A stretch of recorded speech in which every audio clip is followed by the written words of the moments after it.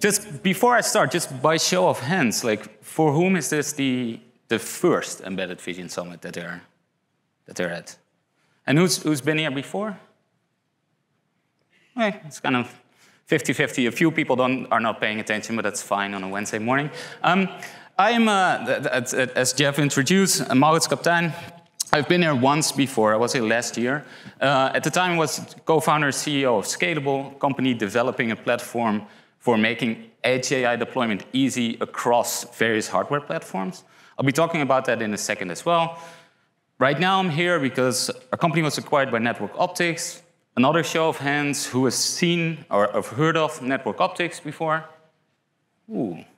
Well, we're in a good spot. If you walk into the exhibitor hall this afternoon, our booth will be one of the first ones you'll encounter, and hopefully you can interact with us and learn, learn about what we do. Um, my talk, though, is not necessarily going to be about Network Optix.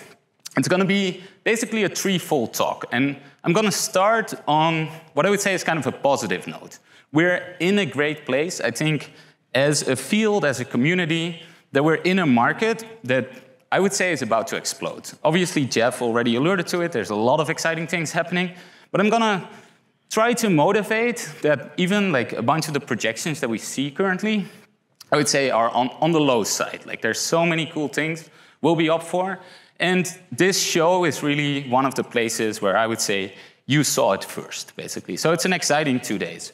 Um, then, though, I will also talk, and that's to be like the, the downside of this talk, about how tricky it is to go from the first ideas of how to grow that market to actual scalable products in the market. I'm going to talk about how hard it is to go from a proof of concept to something actually working across the globe on millions of cameras and actually being monetized. So it's going to be slightly more an applied talk. I'm going to talk about some of the, the problems that you would encounter scaling effectively your proof of concept to a large scale deployment. And finally, I'm going to talk about what I would say is one of the pressing problems for our field, which is kind of the alignment of some of the new software and kind of modeling advances that are there and aligning those with the hardware advances. So you'll see, even if you walk around the exhibitor floor today, you'll see there's a lot of really cool hardware out there, new chips, new devices being built.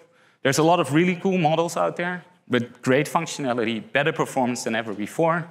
How do we as a field align those to really deliver on this market promise? That's kind of the three parts of my talk.